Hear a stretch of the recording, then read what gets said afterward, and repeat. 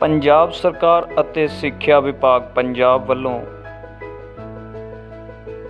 ਸਿੱਖਿਆ ਮੰਤਰੀ ਸ਼੍ਰੀ ਵਿਜੇ ਇੰਦਰ ਸਿੰਗਲਾ ਜੀ ਅਤੇ ਸਿੱਖਿਆ ਸਕੱਤਰ ਪੰਜਾਬ ਸ਼੍ਰੀ ਕ੍ਰਿਸ਼ਨ ਕੁਮਾਰ ਜੀ ਦੀ ਯੋਗ ਅਗਵਾਈ ਹੇਠ ਪੰਜਾਬ ਦੇ ਸਾਰੇ ਸਰਕਾਰੀ ਸਕੂਲਾਂ ਨੂੰ ਸਮਾਰਟ ਬਣਾਇਆ ਜਾ ਰਿਹਾ ਹੈ, ਜਿਸ ਦੇ ਵਿੱਚ ਬੱਚਿਆਂ ਨੂੰ ਮੁਫਤ ਪੜ੍ਹਾਈ ਹਰੇਕ ਮੀਡੀਅਮ ਦੇ ਵਿੱਚ ਕਰਵਾਈ ਜਾ ਰਹੀ ਹੈ।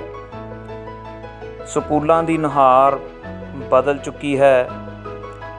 ਸੋ ਆਓ ਅਸੀਂ ਵੀ ਆਪਣੇ ਬੱਚੇ ਸਰਕਾਰੀ ਸਕੂਲਾਂ ਦੇ ਵਿੱਚ ਦਾਖਲ ਕਰਵਾਈਏ ਅਤੇ ਸਰਕਾਰ ਵੱਲੋਂ ਦਿੱਤੀਆਂ ਜਾ ਰਹੀਆਂ ਸਹੂਲਤਾਂ ਦਾ ਲਾਭ ਉਠਾਈਏ ਅਤੇ ਨਾਲ ਦੇ ਨਾਲ ਆਪਣੇ ਬੱਚਿਆਂ ਦਾ ਭਵਿੱਖ ਉਜਵਲ ਬਣਾਈਏ।